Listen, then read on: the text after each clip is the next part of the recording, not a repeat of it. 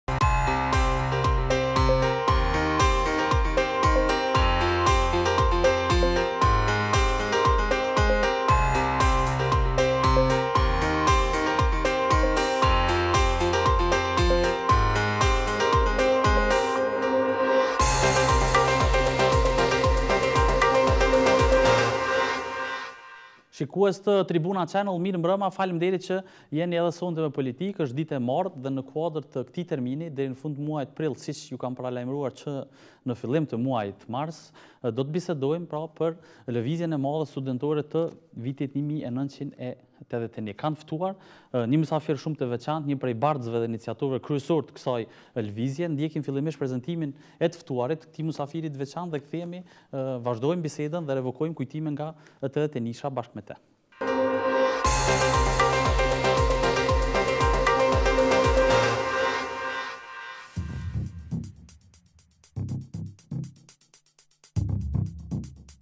Bajram Kosumi Gazetar, albanolog dhe politikan, ishte kryeministër i Kosovës në vitin dy mijë e pesë, ndër figurat kryesore të lëvizjes studentore të vitit një mijë e nëntëqind e tetëdhjetë e një. Ish i burgosur politik dhe i dënuar me pesëmbëdhjetë vite burg. Flet sonte në politikë, për periudhën e pranverës studentore, efektin e saj dhe ato çka e pasuan atë.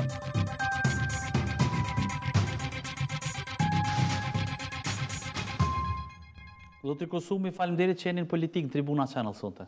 Falimderit për ftesën, falimderit prej shikuesve tuaj. Tetëdhjetë e njëshi tridhjetë e gjashtë vite pas si e kujtoni këtë vit të rëndësishëm të historisë sonë të re? Është një prej viteve themeltare për historinë e re të Kosovës. Është një prej viteve kthesë në historinë e lëvizjes për liri të Kosovës, sepse është viti kur Kërkesat deri atëherë të grupeve ilegale, por edhe para Luftës së Dytë Botnore, kërkesat e grupimeve të ndryshme politike, dalin në sipërfaqe dhe përfaqësohen kushtimisht them prej shumicës të popullatës. Kërkesa për ndarjen e Kosovës prej Serbisë, për herë të parë në mënyrë masovike është përkrah dhe është brohoritur nga populli i Kosovës në vitin një mijë e nëntëqind e tetëdhjetë e një. Dhe kjo është substanciale për historinë e lëvizjes. Do thot është një përkufizim i qartë i të ardhmes të shqiptarëve. Deri atëherë shqiptarët po sidomos klasa politike në Kosovë atëherë ka pas iluzionin se e ardhmja e Kosovës mund të ecë bashkë me Serbinë dhe Jugosllavinë. Por për një pjesë të shqiptarëve, ata që ishin në lëvizjen ilegale, kjo ka qenë e pamundur. Fatmirësisht, kjo pjesa e dytë ka ngadhënjye në tetëdhjetenjëshin dhe populli në pjesë shumë të madhe mënyrë publike të hapur e ka përkrah kërkesën për shkëputje të Kosovës nga Serbia e ma tutje edhe nga Jugosllavia. Këtu është ndarë uji dhe për kjo është arsyeja pse viti 81 do të trajtohet edhe mund të shikohet si vit i kthesës në historinë ma të re të Kosovës. Megjithatë, ka pas, pse qytetarët e Kosovës, kjo pjesa ilegale e Kosovës së kohës dhe jo vetëm, po flasim edhe për pjesën tjetër qytetarëve të Kosovës që ka qenë Duke punuar, duke u zhvilluar, do duhej që të kërkonte të shkëputeshim me Jugosllavinë e kohës, sepse përfaqësia politike e kohës, përfaqësia shqiptare politike e kohës e shtresuar në hierarkinë jugosllave. Nuk ka menduar njësoj. Kemi pas edhe zëra që në atë kohë Titoja veçse po e shqyrtonte si thush mundësinë që Kosova Kosovës t'i njihej statusi i Republikës dhe befas shpërtheu shpërtheu tetëdhjetenjëshi për të prishë, gjithmonë duke iu referuar kësaj pjese, kësaj strukture, kësaj konjukture profesor, dhe befas ndodhi tetëdhjetenjëshi dhe sikur u shkatërrua gjithçka në atë pjesë për të nisë pastaj diçka tjetër që kulmoi, si thush, me persekutimin e mbi 700 mijë njerëzve, siç ka thënë vetë regjimi i kohës, burgosjen e, e dhjetra mijëra djemve, djemve e vajzave të Kosovës kohës, Për të fillu pastaj me vitet nëntëdhjetë, për cilat mund të bisedojmë gjatë bisedës. S'pari që ta të heqim çdo dilemë, kurrë Titoja dhe as qeveria jugosllave, as ajo serbe, kurrë s'ka mendue Kosovën ta bëjë Republikë, dhe as kurrë s'e kanë thënë, këto janë, është një mentalitet i robit, i njerëzve që Kanë jetu me politikë në kurriz të popullit. Kurrë, asnjë dokument nuk e thotë këtë. Por nëse dojmë ta ta shqyrtojmë ma tutje, merre shembullin e Vojvodinës. Vojvodina ka qenë krahinë autonome, qysh ka qenë Kosova. Ku është sot Vojvodina? Merre shembullin e Sanxhakut. Sanxhaku ka qenë në fillim shekullit 20 me shqiptarë, 90% Ku janë sot ato? Këto janë ma tepër floskula politike për me me provue me arsyetue veprime të caktuara të klasës politike në Kosovë. Por detyra e lidershipit një populli, qoftë ajo legale, apo e fshehtë çfarë e ka qenë ajo e jona, ka qenë t'ia sqarojë popullit vizionin për t'ardhmen, sepse populli Masa e njerëzve nuk mund ta njohin politikën si e njohin politikanët, liderët, prandaj ata janë liderë. Dhe këtë detyrë e kanë kry për mrekulli prej Hasan Prishtinës, 1918, kur e ka themelue bashkë me Hoxhë Kadri Prishtinën, Komitetin Mbrojtja e Kosovës në Shkodër. E tutje, te Adem Demaçi, te Metush Krasniqi, grupet ilegale e kanë e kanë qartësue rrugën se ku dojnë kah duhet të shkojë Kosova, Kosova dhe shqiptarët. Dhe ky qartësim ka është përbërë në këtë fakt. Kanë qenë dy rrugë të mundshme për të ardhmen e Kosovës. Një të integrohet tërësisht me Jugosllavinë. Dhe në këtë rrugë ka ecë klasa politike zyrtare në Kosovë, Ata janë mundu ta përparojnë Kosovën, po duke e integru me Serbinë dhe me Jugosllavinë, dhe ka qenë rruga e dytë, atë që e kemi prezantu ne dhe e kemi qartësu dhe e kemi kthjellu ne që rruga e Kosovës nuk mund të shkojë n'të ardhmen kah Beogradi. duhet të prishet me Beogradin, duhet të ndahet me Jugosllavinë qoftë edhe duke u shkatërru Jugosllavia dhe Serbia, por tjetër rrugë, tjetër fat të mirë shqiptarët nuk kanë dhe kjo u tregu e vërtetë, historia e këtyre 36 vjetëve tregon se kjo ka qenë e vërteta. Megjithatë, ka edhe zëra që thonë që 81-shi është organizu nga shërbimet, po flasim gjithmonë nga kjo konjunkturë. Dhe e thonë, e thonë, e thonë 36 vite pas, në rrethana kur Kosova është tashmë shtet. I pavarur, është sovran, e kanë thënë që besa edhe në lirinë e saj, që nga 99 e tutje, thonë edhe sot. Personalisht mund t'ju them ndoshta ta zbuti këto naivitete politike, nuk janë vetëm shikimet e neve shqiptarëve, janë shikimet edhe e strategëve ndërkombëtarë, shikoni analistë ndërkombëtarë, historianët ndërkombëtarë, nuk janë shqiptarë, Viktor Majeri nuk është shqiptar, Janush Bugajski nuk është shqiptar, por ata thonë Jugosllavia e shkatërrimi i Jugosllavisë ka fillu në Prishtinë, në Kosovë, në 81-shin. është e vërtetë. Nëse mund ta sqaroj shkurt, do të thotë edhe njëherë deri atëherë në politikën ndërkombëtare është mendue dhe dy, dy argumente të shteteve socialiste kanë qenë shumë të forta. Propaganda i ka bërë shumë të forta. Një, Barazia nacionale në shtetet socialiste është zgjidhë përgjithmonë. Parulla kryesore e Jugosllavisë ka qenë vllaznim bashkimi, do të thotë gjithë kombet janë të barabartë, janë të vllaznuar, të bashkuar, prralla të tilla, dhe e dyta është se barazia sociale është zgjidhur. Në vendet socialiste të gjithë njerëzit janë të barabartë, të gjithë jetojnë njësoj e tjera tjera. Kanë ndodhë dy dy ngjarje madhore në Evropë që e kanë demantu dhe e kanë shkatërrue këtë mit të socializmit përgjithmonë. Ngjarja e parë është e Solidarnoshqit në Poloni, në t'cilën demonstruesit kanë dalë, kanë thënë duam bukë me hangër. Do të thotë parola për barazinë sociale ka rënë për tokë atë. Do të thotë u pa që është një politikë demagogjike. Dhe ngjarja e dytë madhore ka ndodh në Prishtinë. Ka ndodh kur demonstruesit kanë dalë të kërkojnë Republikën e Kosovës dhe tankset e ushtrisë sërbe i kanë vra demonstruesit duarthatë. Do të thotë pralla për vllaznim bashkimin ka rënë në tetëdhetenjishin për tokë dhe bota e ka pa këtë. Shtypi ndërkombëtar e ka pa këtë, politika ndërkombëtare e ka pa dy shtyllat e perandorisë të kushtimisht edhe ruse, po edhe jugosllave kanë rënë në këto dy ngjarje. Përfundimisht, historia që ka ecë këto 36 vjet i dëshmon edhe këto që po them. Megjithatë thuhet që keni qenë ndikuar, domethënë ndikimi i Kuës ka qenë kryesisht ndikimi i i marksizëm-leninizmit, ka pasur edhe organizata që janë quajtur kështu, domethënë është është thënë që ka qenë kryesisht një një lëvizje e kuqe, nëse mund të quhet kështu kushtimisht, profesor, po, ajo që e ka nxitur si të thuash, po, atë atë revolucion dhe atë Falenderoj që e hape këtë temë sepse shumë është manipulu me këtë çështje dhe kisha dashtë ta diskutojmë ma thelbësisht pak. Mu personalisht më kanë akuzue njerëz që kanë qenë ka njëzet vjet në Lidhjen Komuniste të Jugosllavisë më kanë thënë ti je marksist.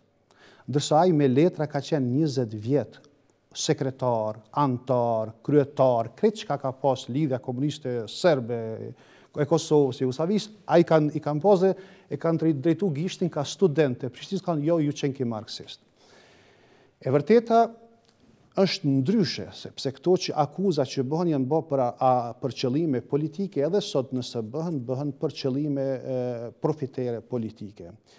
Në atë kohë ka pas dy ideologji komuniste. Një ideologji ka qenë e identifikuar me Beogradin, ideologjia e titizmit, t'cilën edhe unë personalisht dhe krejt lëvizja e kemi, nuk e kemi dashur, dhe s'kem dashur në asnjë kusht ta pranojmë atë, dhe ka qenë ideologjia tjetër marksiste e identifikuar me Tiranën, t'cilën ne e kemi përkrah. Por pse e kemi përkrah këtë ideologji marksiste, se ka qenë e Tiranës. Është trung kombëtar. Ne s'kemi mund ta paramendojmë, të fitojmë lirinë kombëtare të Kosovës duke qenë në kundërshtim me Shqipërinë. Është absurde të mendohet kjo. Edhe sot është absurde. Unë po ju tregoj në burgun qendror në Beograd fjalët e një disidenti djathtist shqiptar mik edhe bashkëveprimtar i organizatave më djathtiste mas 45-ës. Po t'i them përafërsisht fjalët e tij. Më e mirë thoshte komunizma e shqiptarit se komunizma e serbit. Ai e shqiptonte komunizma. Po. Ky ka qenë boshti nacional që ka orientuar lëvizjen ilegale në Kosovë tërë kohën kah Tirana dhe kjo është fati i mirë. Çdo zgjidhje tjetër do të ishte gabim trashanik. Gabim me pasoja shumë të rënda. A ka qenë kërkesë kryesore, themeltore e kësaj lëvizje bashkimi me Shqipërinë, profesor, dhe pse një kërkesë e tillë u modifikua me kalimin e kohës? Sikur u trashëgua pastaj edhe në fillimvitet nëntëdhjetë, pastaj edhe me fillimin e luftës së Ushtrisë Çlirimtare që kulmoi me lirinë, me intervenimin e NATO-s, lirinë e Kosovës, shqiptarët u kufizuan në kuadër të kërkesës për të pasur një shtet edhe një republikë të mëvetshme. Në anën tjetër, bashkëkohanikët tuaj të tetëdhjetë e njëshit, por edhe më heret, më kanë thënë në vijimësi që edhe në kuadër të organizimeve në organizatat ilegale të kohës, synim permanent ka qenë ideja e bashkimit me, me Shqipërinë. Shumë e saktë. Por asnjëherë nuk janë kundërshtu ideja për krijimin e një shteti me idenë për Republikën e Kosovës. Vetëm ndonjë historian, fatmirësisht shumë të rrallë, shkurtpamës, ka mund të thotë se kanë qenë dy vija, njëra për Republikën dhe tjetra për Bashkimin Kombëtar. Nuk është e vërtetë ky konstatim. Unë kam qenë për Bashkim Kombëtar dhe për Republikën. Organizata ime ka qenë kështu dhe të gjitha organizatat kanë qenë kështu. Ne kemi përkrah çdo lëvizje, çdo ide, çdo hap që e ka largu Kosovën prej Sërbisë. Qëllimi ynë final ka qenë të shkëputet Kosova prej Sërbisë dhe Jugosllavisë, të mos e ketë fatin e Jugosllavisë, dhe fatmirësisht nuk e pat këtë fat, dhe çdo lëvizje, qoftë edhe politikanëve zyrtarë, Kur ta zëmë, udhëheqësit politikë zyrtarë kanë thënë diçka ose kanë bërë diçka që e largon Kosovën prej Serbisë, ne kemi duartrokitë. Do të thotë, ideja për Republikën dhe ideja për bashkimin është shumë afër njëra-tjetrës. Republika është shtet në vete, shtet me të drejtë për shkëput, që të shkëputet, dhe natyrisht që unë kam luftu shumë për të. Ekziston edhe një moment tjetër që është viti 74 kur shqiptarëve të Kosovës, Kosovës i njihet një mori të drejtash në kuadër të Federatës së atëhershme Jugosllave, por nuk i njihet e drejta për qenë për qenë republikë, domethënë ka qenë shtet me drejta të republikës, por në fakt de jure nuk ka qenë një republikë. Kjo është në fakt, kjo është një gabim shumë i madh.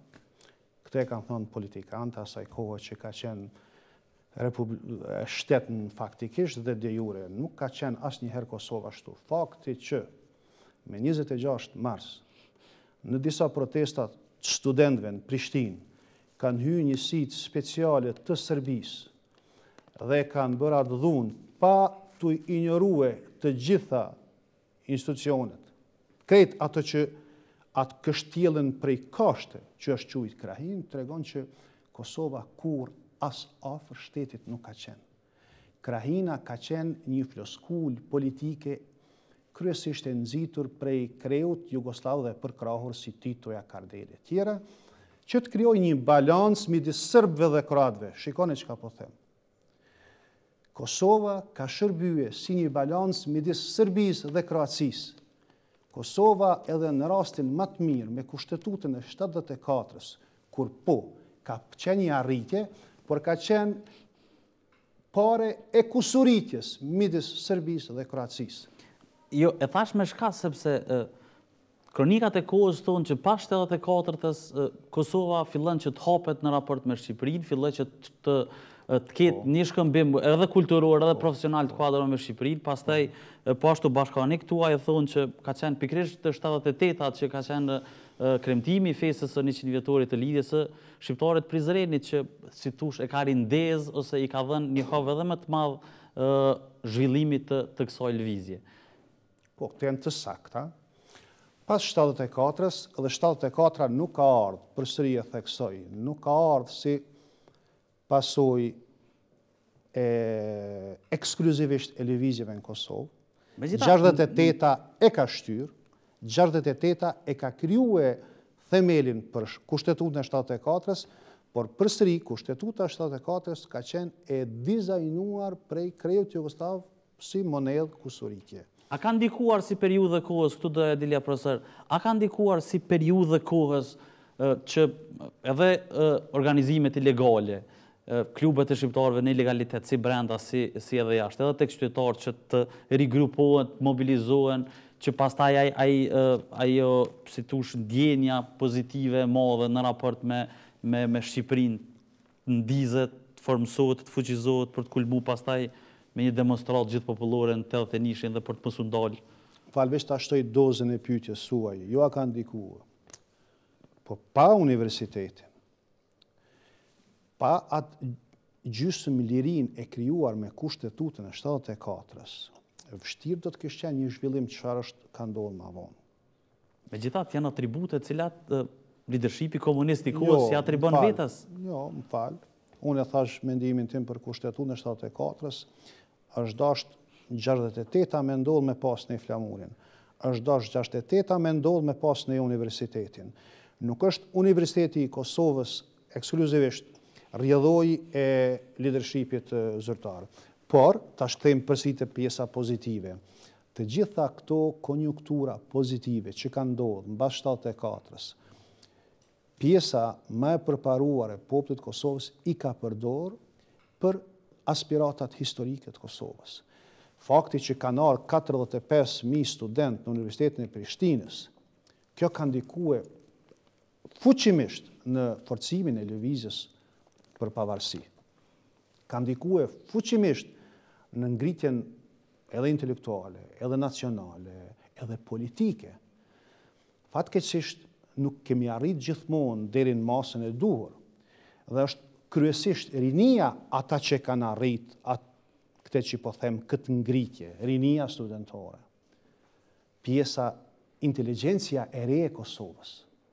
Ata e kanë arrit dhe ata kanë marrë, them, krahët kanë marrë aty dhe kanë kanë fluturuar përpara. Jo, e bëra me shkas sepse po zhvillohet së fundi një debat që ka lindur javën e fundit për ngritjen e shtatores së Fadil Hoxhës në Gjakovë. Ka shumë mendime kundër, siç po ashtu ka është diferencu sigurisht edhe një pjesë e mendimeve e mendimeve për. Natyrisht, Fadil Hoxha ka qenë lider komunist ose i kohës. Ka shumë mendime që ka kundërshtu tetëdhjetë e njëshin, pjesa tjetër, thotë, po megjithatë, po të mos ishte Fadili, që praktikisht hapi Kosovën, ndërtuan universitetin e tjere tjere që po thoni edhe ju, s'do të kishte një tetëdhjetë e njësh e tjere tjere. Cili është mendimi juaj në këtë pikë? Shiko, nuk mundet tash me një deklaratë të flasim për historinë e individve të caktuar, por... Jo, e mora si shkas meqë është pjesë e këtij, po, debatit kohët e fundit dhe po zhvillohet kryesisht te këto dy taborre, domethënë të... shoqërisë. Titoja dhe nën udhëheqjen e Titos janë bërë krime të mëdha në Kosovë. Mos e harroni, në katërdhjetë e gjashtën, dymbëdhjetë mijë njerëz janë masakru në Drenicë. Sa në krejt luftën e fundit, veç në Drenicë, pesë, gjashtë mijë shqiptarë janë vra në Gjilan dhe në rrethina. Dhe ka qenë Titoja ai që e ka nënshkru urdhëresën për gjendjen e luftës dhe aty ka marrë pjesë edhe Fadil Hoxha. Ma vonë ka pas edhe veprime tjera gjenocidiale, çfarë është shpërngulja e shqiptarëve për Turqi, në cilin lidershipi shqiptar i Kosovës ka marrë pjesë në vendimet për atë. Nuk mund të vlerësohet një figurë historike me një akt ose me një veprim duhet pa në tërësi dhe Përfundimisht unë mendoj se sistemin socialist dhe gjithë ato që kanë ekzistu me sistemin socialist në Jugosllavi, ne e kemi përdor për të mirën tonë, çfarë është sidomos shkollimin, por kjo nuk është rezultat i luftës së politikanëve shqiptarë. Është rezultat i një procesi se s'ka mund Jugosllavia ta izolojë Kosovën dhe ta majë si zonë të izoluar indigjenësh. Ajo është dasht të bëjë disa lëshime dhe ka bërë disa lëshime dhe ne ato lëshime i kem përdor Për të avancue dhe për të krijue të ardhmen tonë, sigurt. Të kthejemi tek tetëdhjetë e njëshi, si si filloi gjithçka?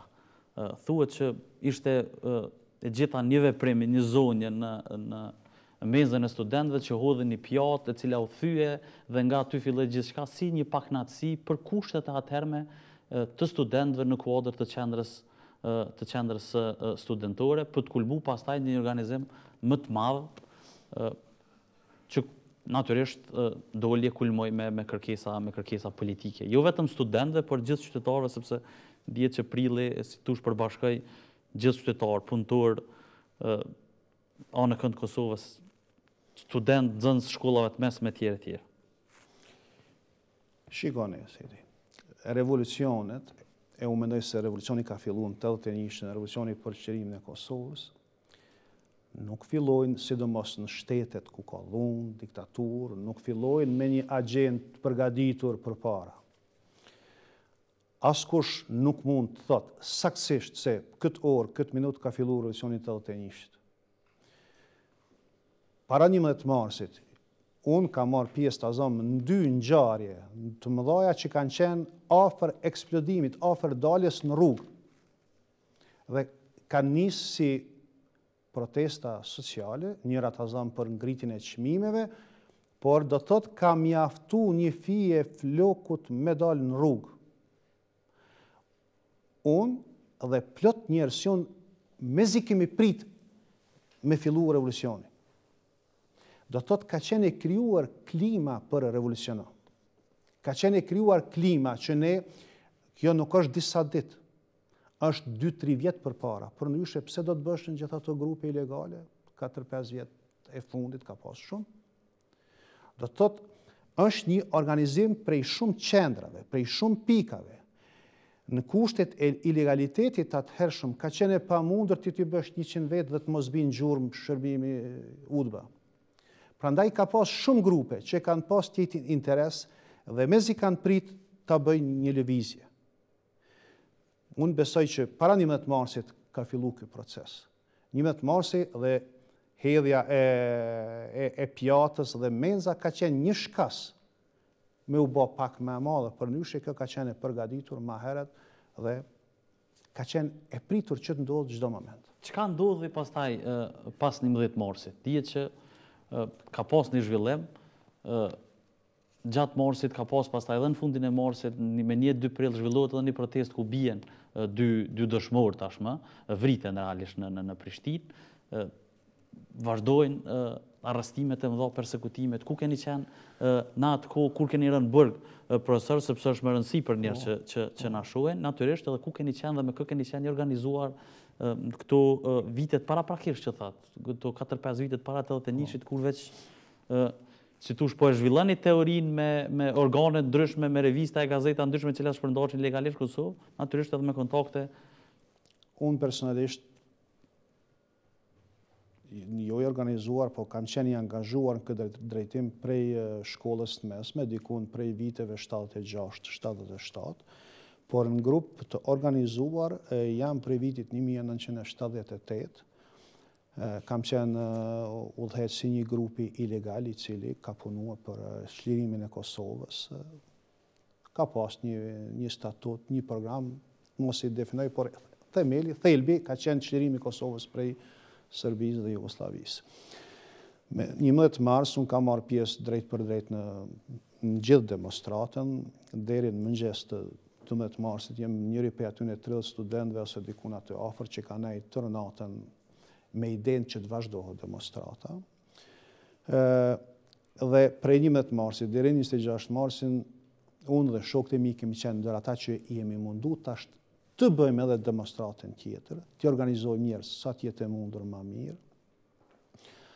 Dhe me 26 mars jam njëri prej organizatorëve të ngushtë të 26 marsit, bashkë me gjashtë apo shtatë vetë, kemi dizajnuar demonstratën e njëzet e gjashtë marsit, kemi përgatitur ato kërkesat politike, i kemi shkru ato, i kemi mendu dhe i kemi shkru, i kemi shkrue ato parullat, banderolat, ne i kemi bo, ata dihen me emën, janë të dënuar, ne që kemi qenë në dhomën, dihen saksisht, mos t'i Por si grup, gjithë gjithë kanë qenë të arrestuar pas Po, gjithë janë arrestuar tash ma vonë, sepse me, me ju thonë të drejtën, deri me 26 mars ne jemi rujt, bukur shumë edhe në kushtet e ilegalitetit, edhe pse shërbimi i sigurimit shtetëror ka pas informata nga pak për aktivitetet tona, por ne jemi rujt shumë, por me 26 mars nuk jemi rujt. Unë me njëzet e gjashtë mars nuk jam rujt ma. Ne kemi mendue dhe unë edhe sot e daj këtë mendim, njëzet e gjashtë marsi ka qenë një farë dalje publike e ilegales në sipërfaqe. Ne atë ditë kemi dalë publikisht, kemi folë publikisht, i kemi nxjerrë parullat publikisht, nuk do të thotë ma nuk mund të flitet për kërkesa të studentëve. Ato ato kanë qenë kërkesa politike. Lëvizje politike dhe kërkesa politike që i ka organizu një grup i caktuar.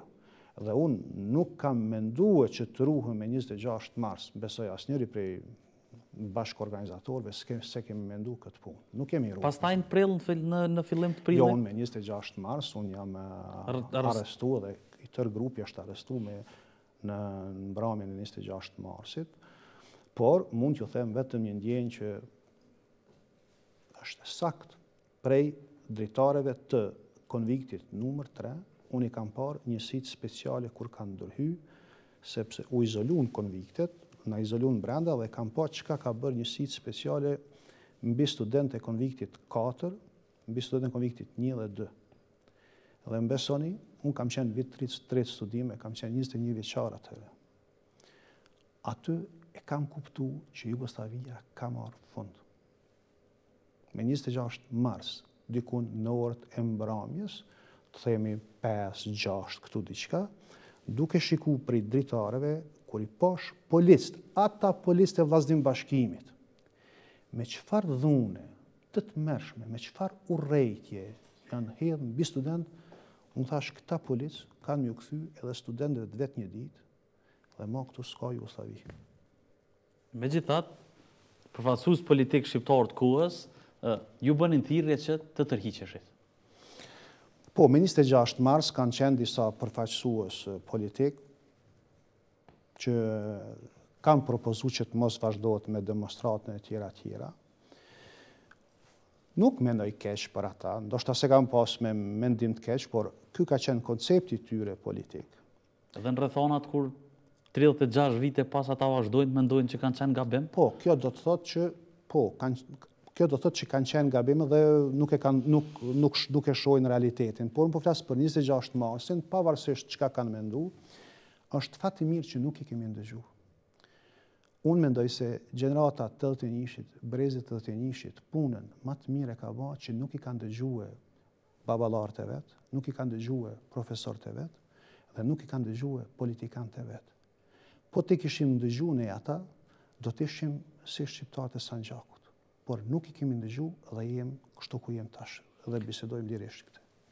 Mirë, po bëjmë një shkëputje marketingu, kthehemi në pjesën e dytë të bisedës dhe natyrisht vazhdojmë këtu ku ku ku po e lëmë. Regjia shkojmë në një bllok të shkurtër reklamash.